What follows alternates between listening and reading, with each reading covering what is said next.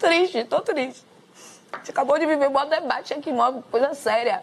Eu vou pro paredão amanhã e você se preocupa se eu botei o dedo na cara de Juliette. Ah, tô triste, tô triste. Porque quando você foi pro paredão, eu fiz um movimento, não, vamos fortalecer. Fiquei te ouvindo. Fiz mal corre, fortaleci você. Você tava mal, você tava pra baixo, você tava fumando não sei quantos cigarros. Eu tô aqui pra te ouvir, Lu. Ah, eu não quero mais.